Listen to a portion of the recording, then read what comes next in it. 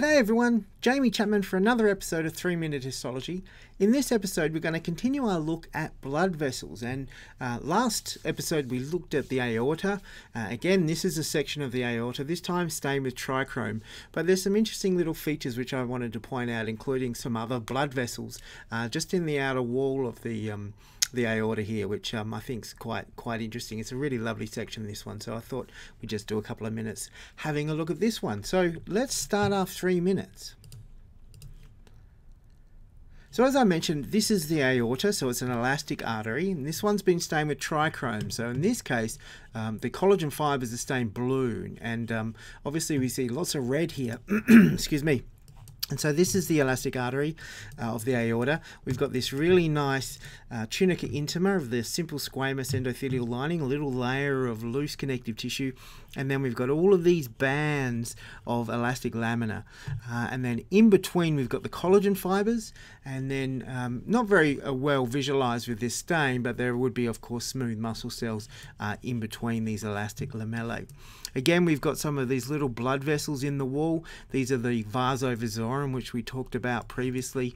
And then if we go out, we can see the, the dense uh, blue collagen fibers of the uh, tunica adventitia out here. And we've got some more um, vasa vasorum, little arteriole, little venule, and there's actually a little nerve here as well. Um, we can just sort of zoom in there. We can actually see some of these uh, Schwann cell nuclei. Uh, another little blood vessel, the endothelial cells here. Um, but what I found was on, on the on the outside, if we sort of uh, zoom around a little bit on the outside here, We've got a, a vein.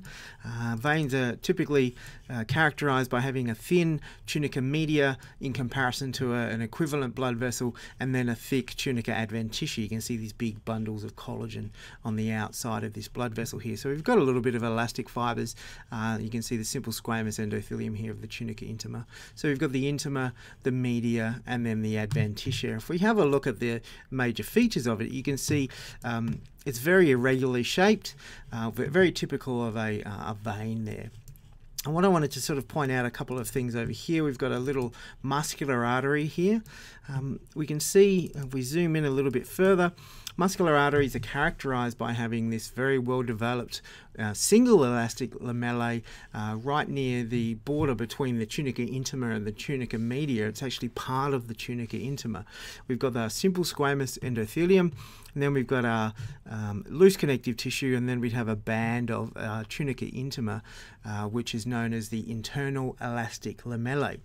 It's very characteristic, and what it often does is it causes this waviness to the tunica intima. You get this sort of waviness. It's a really good indication that you're actually looking at a muscular artery as opposed to an elastic artery or a vein.